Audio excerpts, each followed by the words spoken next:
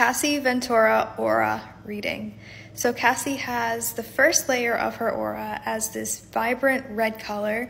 This is somebody who prioritizes security. This is somebody who is very balanced within their body, meaning that they have good body function, good health, they have a strong immune system as well. Her second and most predominant color in her aura is this gorgeous blue color.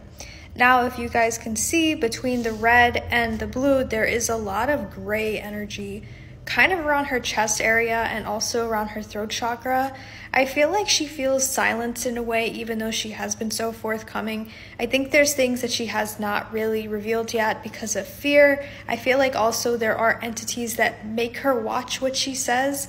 That's the message I'm getting through. There's something here blocking her from speaking out about certain things. Now, with her aura, the blue and the red combination tell me that this is somebody who not only can be aggressive at times and not aggressive in like a physical manner, but I think the word is more so assertive. But this is also somebody who can be very calm and um, give really good communication as well. She also has a gorgeous yellow aura around her sacral and her solar plexus chakra. This tells me that this is somebody who is balanced within their intimate energy, I guess I could say on here.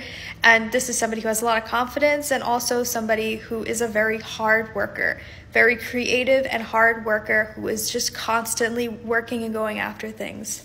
Let me know what you guys think in the comments below. And if you want an aura reading of your own, everything is in the link in my bio. We are also doing 15% off all readings for Memorial Day with the code MDAY in all caps. I am the only Lotty Luxe. If somebody messages you pretending to be me, it is not me. Have a wonderful day, everybody.